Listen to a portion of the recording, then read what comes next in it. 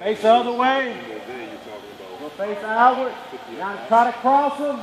We'll pull them across slowly, slowly.